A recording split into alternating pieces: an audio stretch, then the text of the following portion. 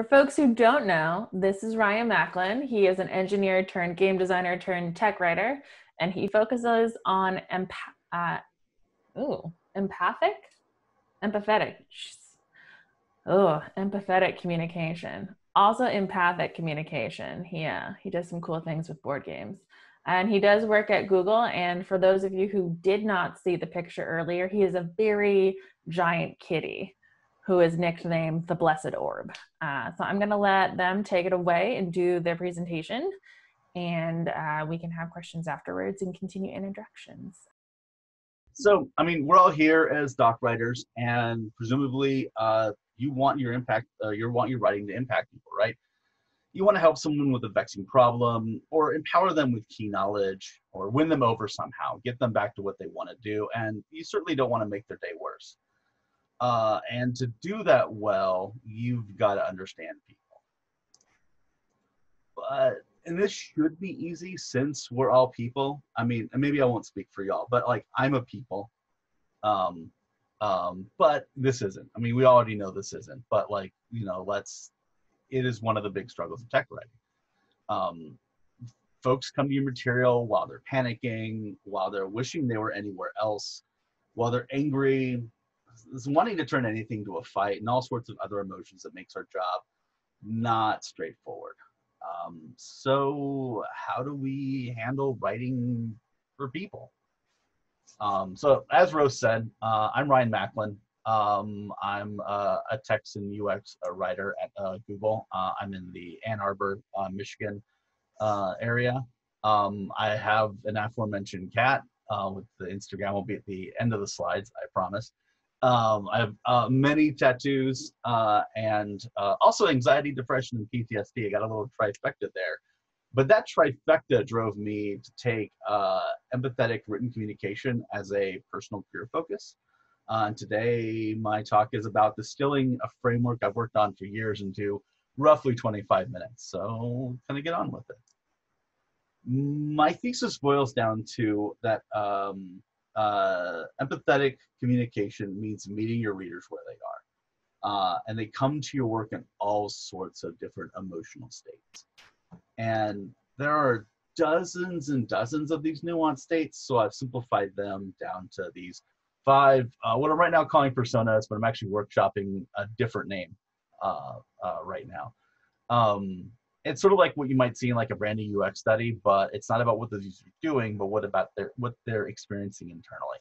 On uh, as you can probably see now, I had a lot of fun making them. Um, this is Avery, our anxious armadillo, Blake, our bored bear, Cam, our curious cat, Finley, our frustrated ferret, and Pat, our proud peacock. Uh, but it's kind of silly to introduce them because you've actually already met them. Uh, you've already written for them you've already been them. You just maybe haven't thought deeply about them because they're so baked into the experience. So let's really get to know our friends here and see how we can help them out. So we'll start with Avery because I leave them sitting in the waiting room, like they're just going to get more and more anxious. And Avery's already pretty anxious, so which we'll dive into why. Um, but first, what does Avery's mental state mean for us as writers? Well, it's that Avery doesn't feel safe. Uh, someone coming to our work in this sort of distress state uh, is going to be hyper vigilant. They don't feel safe right now. They're reading our instructions or our email or our UI or whatever. Uh, and their brain's being chewed on by their anxiety. Their attention is pulled to perceived dangers, which means that uh, they're either not paying full attention to us or they're paying the wrong kind of attention to us, where they'll fixate on something on the screen we don't expect them to. Uh, and that gets their anxiety spiraling out. Um, and to before I go further into into Avery, I really want to call this out. Be really firm about this throughout the entire talk and in life in general. Um, there's absolutely nothing wrong with Avery. There's nothing wrong with Avery having anxiety. That emotional space is valid, and it comes from somewhere legit maybe it comes from our app or service or documentation or something like that or maybe it comes from something that has nothing to do with us but either way it's you know it's legit and there's nothing wrong with avery there's nothing wrong with this state we're not trying to fix a person here so Avery being everywhere, you know, imagine someone who's on edge because they're expecting an important call. Or someone who is going about their day all chill before hearing a sudden car honk close by. I mean, you've probably all been in the situation where suddenly your heart rate is elevated, right? Uh, in that situation, uh, you've got a little Avery surfacing. Um, same as if someone is apprehensive about making an embarrassing or detrimental mistake in our after service, or like sending a mass email with broken links, or deleting critical data. And I am calling myself out there in both of those cases. Um, and this is something you'll see in all these personas this, this concept that it doesn't really make a significant difference whether the emotional state is because of our after service um, or if it's because of something totally unrelated to us. Because they're still users in natural states of mind and they're still trying to get something out of the material. There's some slight elements to it that are there but really i approach this problem from a um, emotion first reason second uh, philosophy. Um, so how do we care for our Averys? So one thing, like, definitely make no mistake. Um, what we do as like documentation writers, as as um, you know, as sort of any role like this, is a form of care work. Helping people in distress is a form of care work. Um, and in this case, uh, two of the techniques I keep in mind for Avery are um, keeping to a sense of tone intentionality and making sure there are clear paths out. And tone intentionality is about watching the language you use uh, to avoid reinforcing emotions that spiral, like anxiety definitely spirals. Uh, for instance, I avoid the word hopefully in instruction text. Um, uh, so that give a sense of maybe this will, maybe this one. I want to like encourage that in the mind of an Avery. Uh, and I make sure that any like uses of caution or warnings are actually worth the elevated heart rate that they could trigger in an Avery. And the other technique involves making sure there's a clear escalation path, a path to some sort of support material, someone to contact, uh, etc. In case the anxiety builds to a point where it feels impossible to process the information, uh, where they can like they can't really process the information by themselves, and they need or feel they need, uh, which is effectively the same thing, that they need to get somebody else involved, um, or they get information that's framed in a different way that might help them break through sort of the anxiety barrier that's in their head. Um, and I mean, these are just like two techniques. I'm going to share a couple techniques in each of these slides. Uh, I'm sure you have plenty of other techniques in mind, and I'm actually trying to catalog a lot of these uh, for a, a, much bigger project. Um, and like, and you can probably maybe guess that Avery could be an entire 25 minute talk alone um, because the effect of anxiety on cognitive processing is not, you know, a, not a thing like, oh yeah, it happens, and you sort of, you know, move on. Although that is literally what I have to do in this talk to get through it. Um, but yeah, like I said, so um, uh, so I'll stop here, um, and you'll um, kind of see as as I go through this that the other techniques I mentioned will refer back to Avery and some of these other techniques can be used in some of our other uh, our, our other personas. So uh, let's go ahead and move on to Blake then. Uh, so, oh, this is me cosplaying as Blake by being very tired and low. And this is the sort of person that we're going to be engaging in now, which is our bored bearer, Blake. And we're going to go on by being a little bit meta first, because there could be some Blakes right now listening to this talk um, and sort of as I sort of like you know uh, overly hinted at just a moment ago, some Blakes are tired either physically or mentally, so they're not an engageable friend of mine. You can kind of cue your before I've had my coffee drip, right?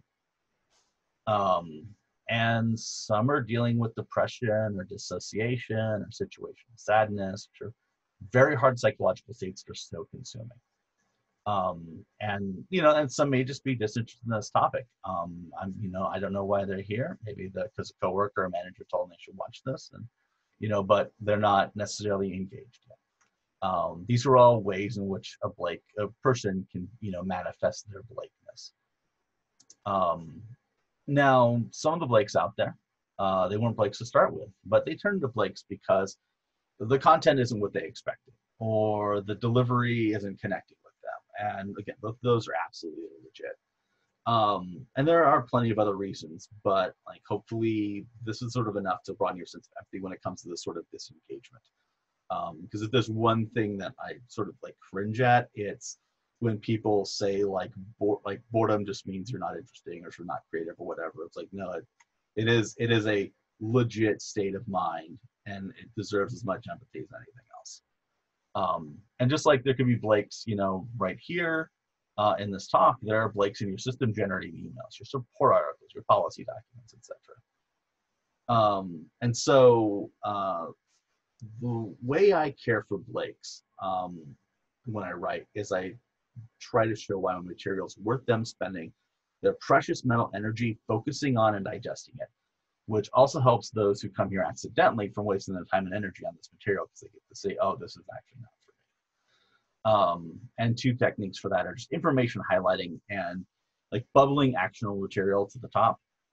Um, and information highlighting is a grab bag of concepts. These are all things that many of us are doing. Um, having clear and precise titles.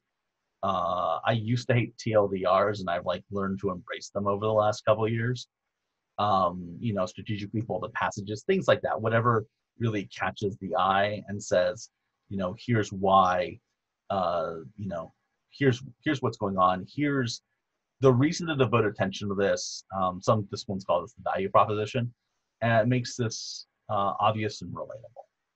Um, that gives um, like many a reason to invest mental energy, which maybe means sit up, or get some coffee, or take a walk, or whatever helps them sort of shake off that bored and tired feeling. Um, and our second Blake friendly technique is about cutting like sort of unnecessary content and bubbling up what's important uh, to the top. Oh, you know, whatever makes up the material put in front of others takes brain energy to process. Uh, and if you've been, if you've ever had a point where you struggle to focus on something, uh, you know, you can just feel that sense of where just like your brain just starts to drip down uh, as you're like going from one paragraph to the next to the next. Um, so cut out what's unnecessary and move what's necessary to the top. Uh, there's the, to me, is there's this classic documentation faux pas of starting with historical information that's maybe interesting, um, but definitely unnecessary. I've seen this often, and, and I used to do it when I was a, a software developer. Um, and um, you know again you, you bubble that actionable material to the top. If you absolutely need to keep that unnecessary material and i, I will always love stressing it's unnecessary when talking with like um, like uh, engineers and project managers and stuff who are really passionate about uh, the historical material because they're really passionate about the project and want to share things that are passionate to them with users. Move it to the bottom or make it a separate page you link to. Whatever you do make it so that you reduce the effort that Blake needs to expend to get to the part they need. Um, and yeah, uh, and I, I, could also go on for a long time about Blake. I have a rant about how screenshots are often a detriment, but Blake needs to zone out now. And again, I need to finish this talk. So now we get to talk with Cam. This is where people's attention comes back because I've just put a kitten on the screen. Um, so Cam's a bit more specific uh, than the two we've seen so far. Um, after talking with Blake, you would think we'd be excited to have some Cam, since being curious is the opposite of checked out. But there are some detrimental sides to curiosity, and that's why there's a Cam in this talk. Um, when we're curious, our minds are primed for questions. When there's a question stuck in our heads, we're hungry for the answers. And it's part of our human nature. Again, I'm making an assumption here about our humanity uh, to look for those answers. and it's human nature to cough in the middle of a presentation. Uh, so if you've ever had some random bit of trivia trip you up, like what's the next line of that song, um, and you couldn't keep from you know pulling out your phone to look it up, you were compelled to close the loop in your head, uh, created by that question popping in. Um, it wasn't important to you to know the answer to this, but it was just nagging that in that nagging you wanted to be rid of. Um, I stumbled upon this concept um, years ago while reading uh, David Allen's classic productivity book, uh, Getting Things Done. Um, he talks about how the mind can only hold on to like so many unresolved loops before it's essentially at a bandwidth. Um, questions of mine operate in that same space. It's part of how clickbait headlines work. They pose a targeted question in your mind to get you click on the link to close the very loop it created. Um, and that's important because uh, while the reader interest is desirable, unregulated curiosity uh, presents hurdles for us. And those cams, they're kittens pawing at any random laser pointer. Um, and every link on your page in your email or something like that is something that a cam will paw at. And instead of focusing on the body material, um, you know, they'll see something like this. And this is something I see a lot in automated email notices. Um, like, hello, due to our blah blah policy, which is a link to some doc, you should take some action. Let's say the actionable part now. Um, and in a reader whose curiosity is regulated or not engaged in the first place, that's not an issue. But for unregulated cams, that's an interesting link. Maybe clicking on the link and reading it briefly satisfies their curiosity, but it's as likely they find something new on that page to be curious about. Some of the laser pointer from the side or related topic section, and so on. Uh, and they're on a different journey already before you've cemented in your original communication that they need to take some action. The mental loop that you wanted to create in them was cut short. Um, so from that, we'll go ahead and let Cam go chasing something. So bye, Cam.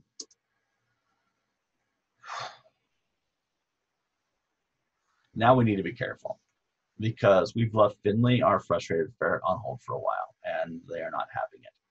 Um, uh, any of you who have ever worked in support like I have can probably already empathize with uh, getting a customer who's been really frustrated and has been on hold for a while and is very happy to know that to start with. Um, like being these people, they're frustrated before they get in our queue. Uh, all of that time that they've been waiting sort of adds up to that micro frustration on top. And that frustration is a communication fog, which is not unlike anxiety. The thicker the fog, the harder it is to for a support agent to break through it. So as writers, we want to diffuse the Finleys we're writing for, and and when we can't do that, we want to at least not compound the situation with like adding micro frustration elements um, because that's just going to make that frustration fog harder for someone else's job. Um, and Finley and Avery are cousins in a sense. Uh, and just like how Avery could be anxious because of our product or from something external, uh, Finley could be frustrated again from our product or something external. Getting cut off in traffic or getting into a fight on Twitter or finding out they didn't get the promotion they fought for. Uh, then they try to log into our account, it doesn't work. What might have been an annoyance at the moment now is like a full blown meltdown. And and to their credit, some Finleys do try to regulate themselves, uh, recognizing that lashing out doesn't help. But they and and we, when we're dealing with them, are still playing at a higher difficulty level in getting them help because they're in that combative brain space. And that combative brain space means that Finleys are looking for a win. Uh, what if our docs can't help a Finley? Can we still try to give them a win before they contact support? I think we can. Uh, and this is where my first technique comes into play, which is about empathetic acknowledgement. Um, you've probably encountered this with UIs that apologize for inconveniences or support docs that acknowledge a situation what the user's dealing with isn't fun. Um, and other places where passive text that we write tries to imprint the feeling of like, hey, your feelings are valid. Hey, we see you. Uh, this technique is also a part of support tactics for a reason. It's not a women form of solving Finley's problem, but even just being validated is a small win. And if that's enough to get a Finley to calm down, to get a Finley to help center themselves, that makes our job easier. And that makes any support agent who has to deal with them their job easier. And ultimately, it means Finley's job of helping themselves is easier. And like I said, you might know that, like I said, I've used the, the concept of centering with Finley. I've used the concept of sort of like centering or regulating with Avery. Uh, and this goes for any agitated state of mind. And the further agitated somebody is, the thicker that communication fog that I mentioned is. Um, so that technique about de-escalating Finley, the other technique I use, which really relates to the communication fog, is to watch out for micro frustrations or micro confrontation uh, to avoid adding to Finley's frustration. Um, that includes anything with a condescending flavor. Um, I things like starting a passage with obviously, or or I've even removed like remember that um, uh, from passages after sort of an experience over a decade ago of realizing that wasn't actually helping me.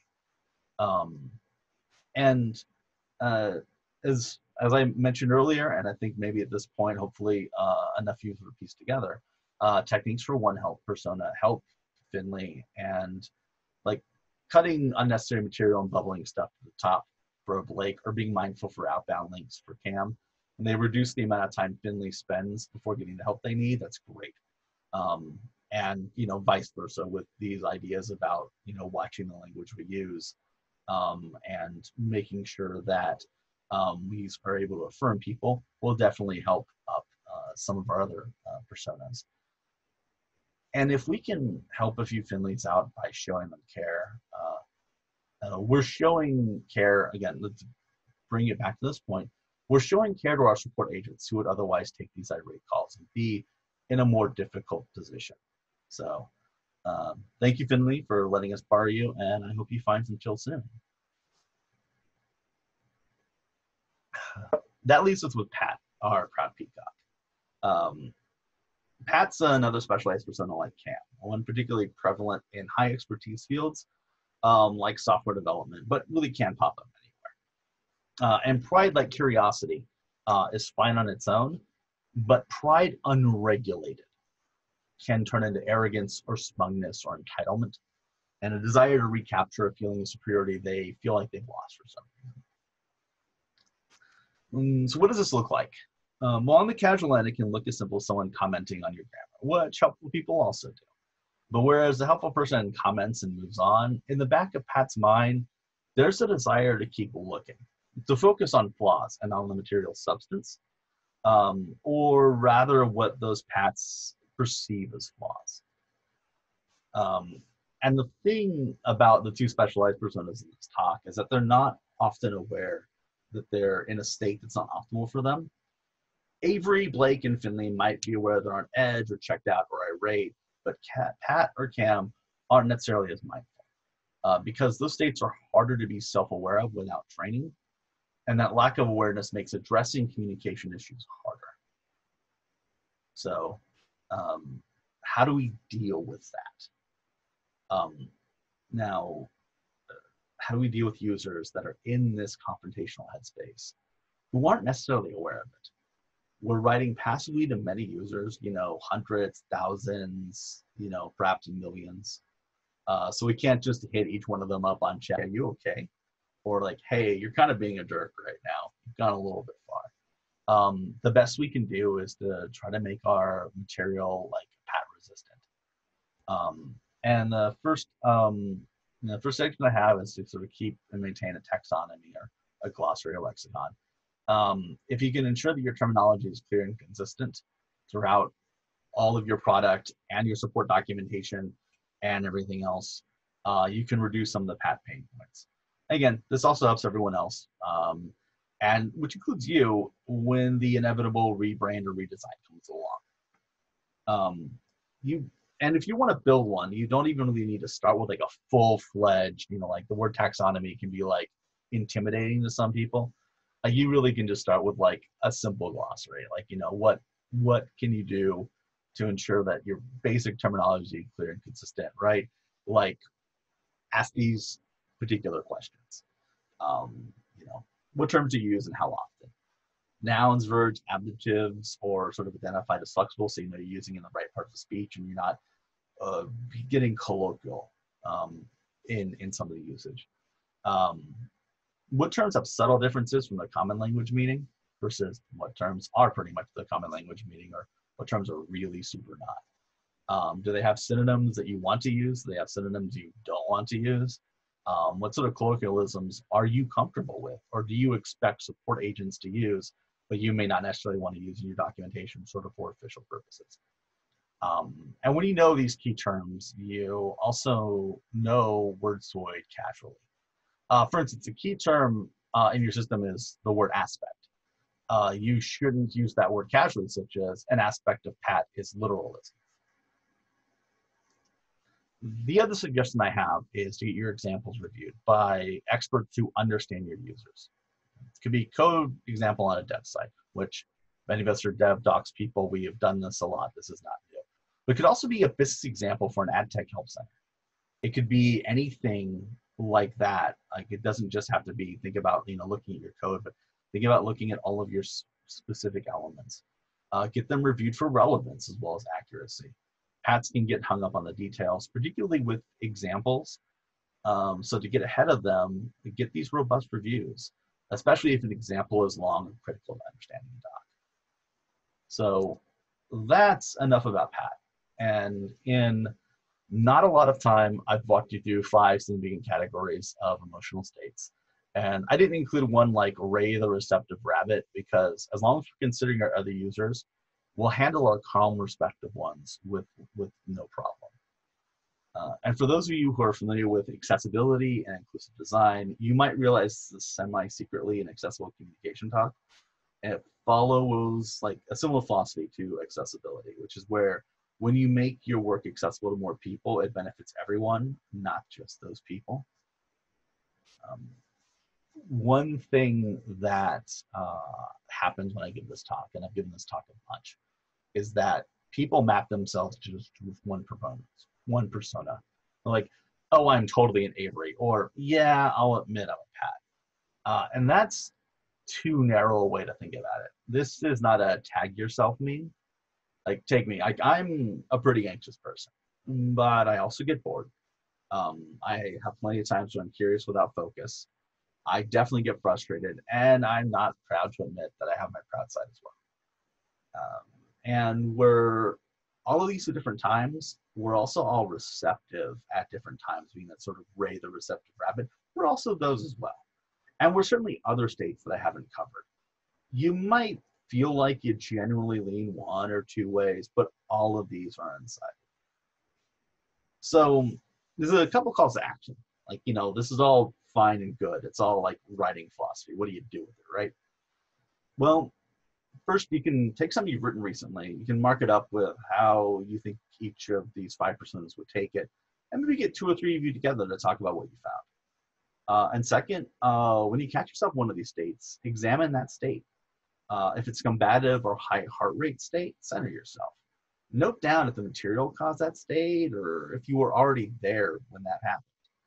Um, were you there because of something related to the material, um, something separate, or a combination? Um, what you learn from self-examining can raise your emotional proficiency, which raises your ability to tackle these sort of problems. Uh, and just to end again, that these emotions are valid no matter where they come from. That's really, really clear. Like there's no shame in what our users are feeling. We don't. I don't want to, you know, ever in sort of this talk or anything related suggest that that's something that we should think about. Um, so again, this is me. Uh, I'm I'm Ryan Macklin. Uh, I just got back on Twitter, uh, and again, my cat has an Instagram. Uh, and I also am the co-organizer of Write the Docs Detroit Windsor, uh, which, like everything else, is online right now. So you know, check it out on Meetup. Um, and here's like a little quick reference that I have here, which since it's getting recorded out uh, into the world, um, is there sort of some questions that I consider. Um, feel free to also like you know screen cap this if you like i will go ahead and uh, leave it up for a moment that is my talk on emotional personas thank you ryan are you uh, are you happy to take some questions either folks can post them in the chat and i'll monitor that or people are more than uh, for those who are happy to do audio and video please feel free to jump on that way yeah totally uh, and did you want to record the questions as well yeah, I can record the questions. We'll see if like maybe I'll cut them or not, depending on the size of the video. But yeah, let's go ahead and record them. Great. It looks like we do have one from the chat, and it says, uh, "Where do you draw the line between harsh language choices versus straightforward imperative statements?" So it depends on. For me, it would depend on the subject. Um, the more serious um, the subject, like especially if it's something where there's a destructive element to it, like you could, you know, delete all your data from this.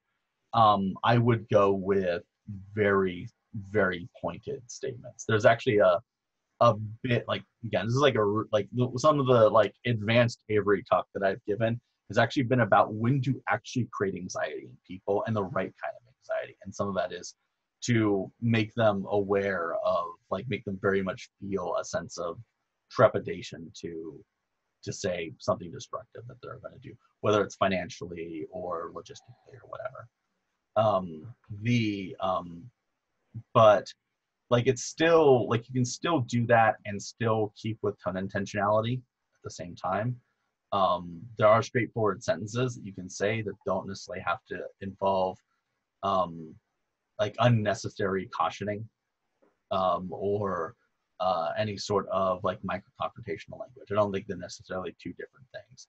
Um, softening language is great, but uh, like tone intentionality can also work for hard language, or like really pointed language. I could add to that, Ryan. I'm guessing that one of the phenomenon you you might have encountered is that if we have an idea that users tend to make a certain kind of mistake, even if it's not a serious one, or even if it just ends up going slightly off track and then you can come quickly back on. Mm-hmm. Um, one of the documentation solutions is to warn people not to do that. Mm-hmm. Um, but is that, but in a lot of cases, if they do that, it really doesn't matter and it's fine. So that would be a case where it might be really easy to create unnecessary warnings yeah exactly yeah like like like the the the bit there is and, and this is very much a um i see this from a lot of times i'll see this from like people who write who are support uh agents first writers second um because this is the experience that they've had to deal with um, and they're translating that individual user experience into a doc for a broad audience um the um which again i was a support agent a long time ago this is one of the things that i had to learn. Um, the um, uh, but yeah, so like getting to that state of uh, how do you write it and not have it be a warning, or how do you write it and have it be a soft warning? Um, and that like is I like I'd say like I mean that ends up being like why writing is also partly an art. I think also at this point I can stop the the screen here so I can actually see everyone. All right. Um, so yeah, that is, um, I don't know if that answers the question or not. Uh, yeah, I'm the one who asked it. It, it, it, it does. It's something I, I come up against, you know, quite a bit. Most, mostly I ask because I write, you know, API documentation where you're always giving enough rope to hang yourself with. Yeah. It's, it's, you're, you know, when you do these things, you're messing with real data that's potentially not yours and unrecoverable. Yeah. So. Uh, we have uh, chocolate, and it looks as though they asked, how often do you check the personas? How do you plan content changes for newly added and removed personas? Um, well, I don't like these personas have been pretty static for me for a number of years.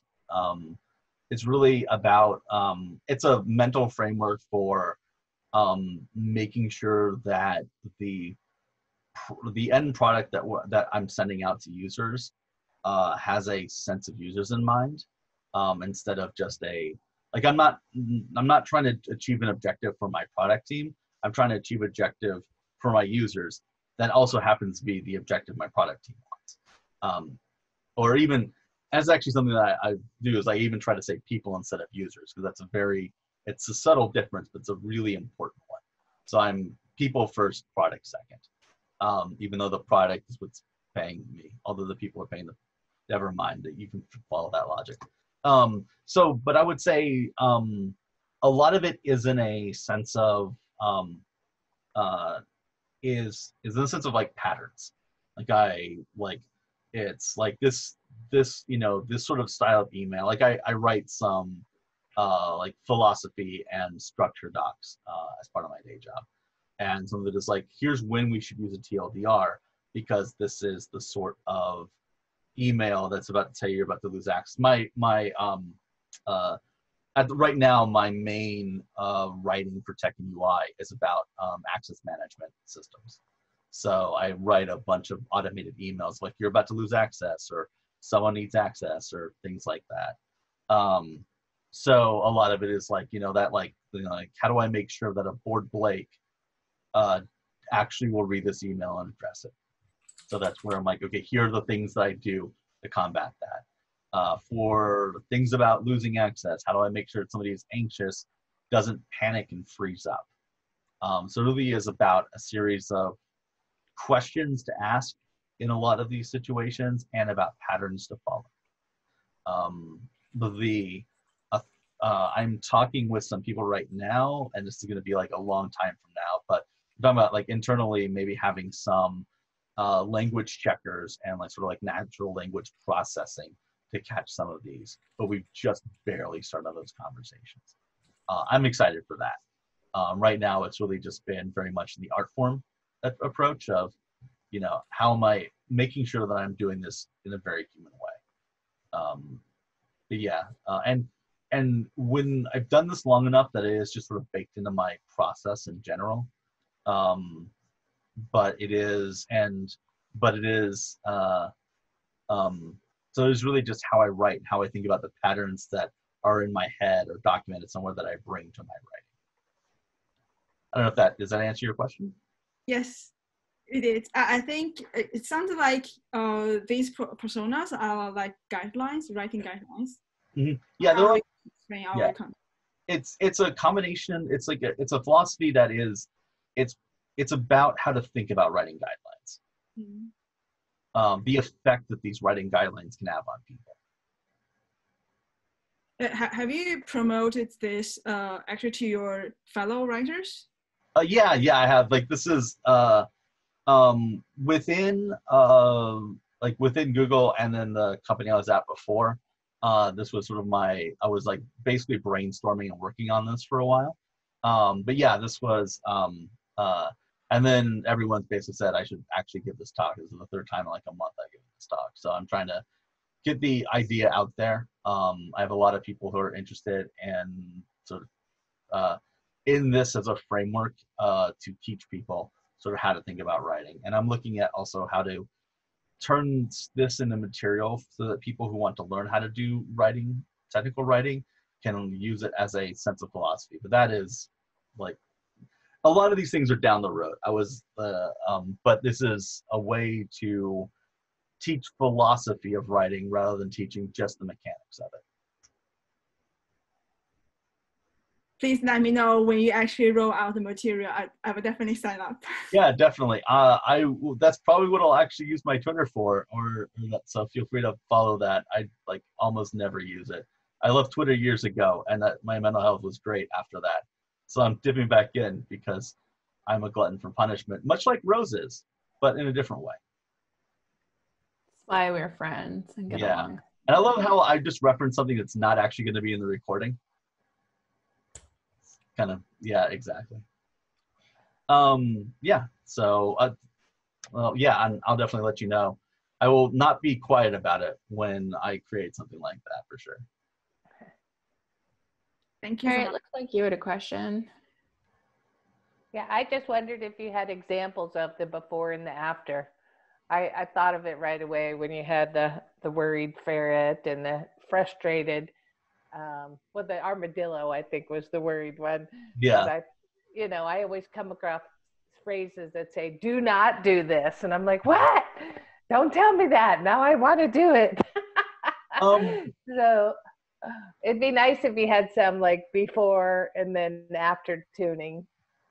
The um uh I don't like at this point I don't like I like I haven't edited anybody else's writing that deeply in a long time.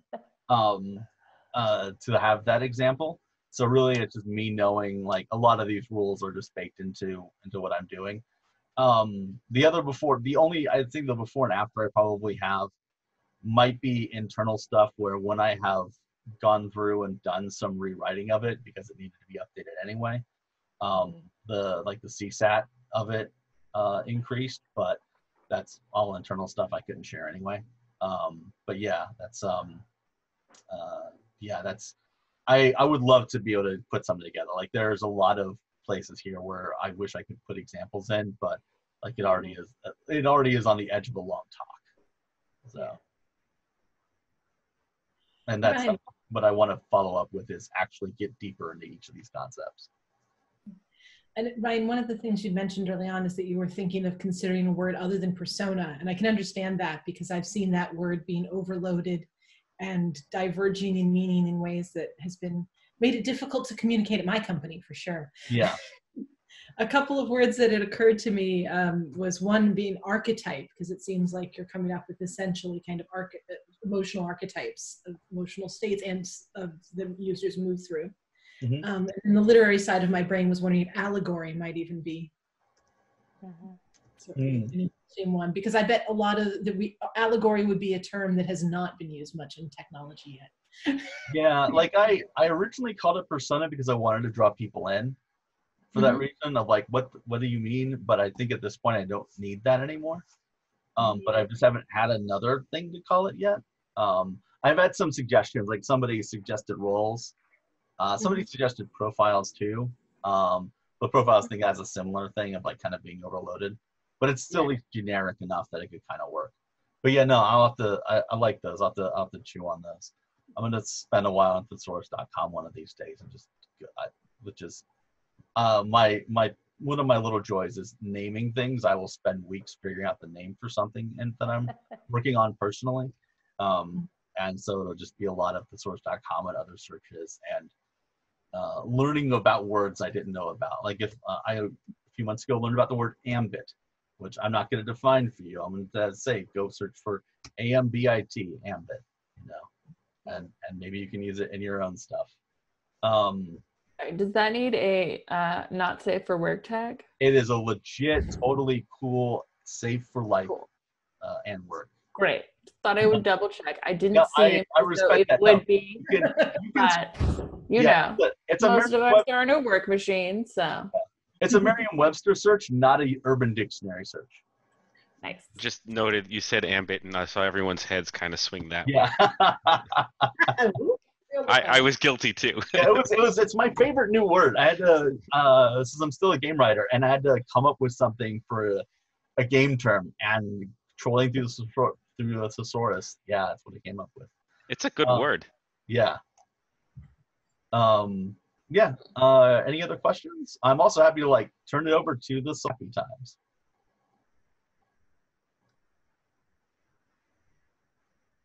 Which it sounds like from the silence, I'm totally gonna turn it to the social happy time. So I'm gonna stop this recording. Uh and thank you all. Um well, I mean I'm gonna stay, but this is waving for the and everything.